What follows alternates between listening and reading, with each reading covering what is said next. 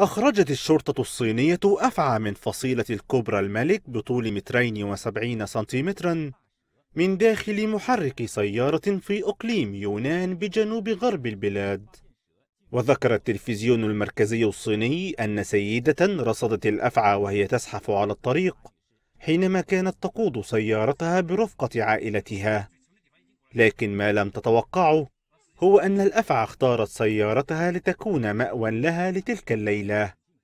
وبعد استنجاد المرأة بالشرطة نجح ضباط في إخراج الثعبان من المحرك باستخدام زيت طعام.